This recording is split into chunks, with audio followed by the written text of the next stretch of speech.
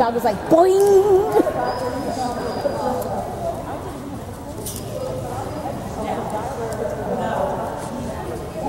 Alan Remy, Saturday morning, Weavers, ITZ.